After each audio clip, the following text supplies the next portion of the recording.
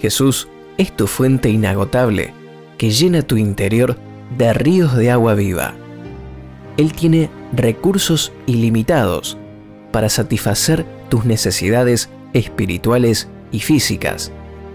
Deja de ver lo que falta para que fluya su fuente inagotable de recursos y vida abundante. En Juan, capítulo 4, versículo 10 al 12 dice, Si conocieras el don de Dios y quién es el que te dice, dame de beber, tú le pedirías y él te daría agua viva. La mujer le dijo, Señor, no tienes con qué sacarla y el pozo es hondo. ¿De dónde, pues, tienes el agua viva? ¿Acaso eres mayor que nuestro padre Jacob, que nos dio este pozo del cual bebieron él, sus hijos y sus ganados? Jesús estaba por revelar su identidad a esta mujer, pero ella reacciona analizando humanamente, poniendo una excusa. No le encontró explicación lógica a que Jesús podía darle agua sin los elementos para hacerlo. Pero Jesús le dijo que Él era el agua de vida que sacia nuestra sed espiritual, un agua que al beberla se transforma en una fuente inagotable que salta para vida eterna. Poco a poco la mujer fue comprendiendo con quién estaba hablando.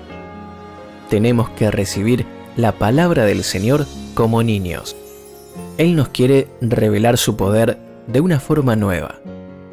No tenemos que pensar en cómo sucederá lo que esperamos, porque Dios hace las cosas de forma que no comprendemos. La respuesta a tu oración tal vez tenga un cómo diferente al que esperas. ¿Cómo hará Dios las cosas? Ese no es nuestro tema. El punto está en confiar en quién es Jesús, en dejar de mirar el inconveniente para beber de su fuente de vida y poder. Oremos así. Padre, no moveré mi mirada de ti. Dejaré de poner excusas y ver impedimentos. Tú haces las cosas como quieres.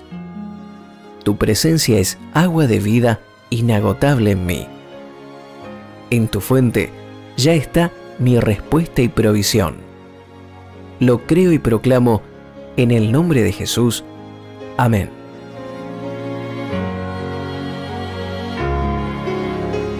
Gracias por compartir este tiempo con nosotros.